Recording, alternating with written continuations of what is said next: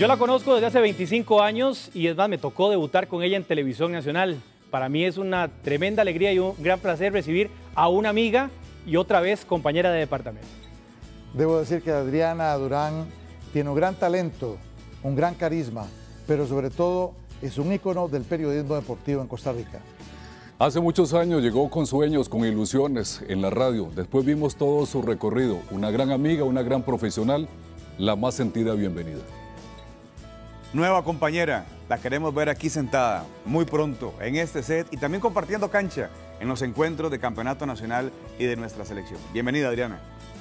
Hoy no estamos todos aquí en Teletica Deportes, somos una gran familia, pero yo sé, Adriana, que estás muy contenta y nosotros estamos todavía más felices de darte la bienvenida a nuestra familia, la familia de Teletica Deportes. Así que, bienvenida. Bienvenida, Adriana.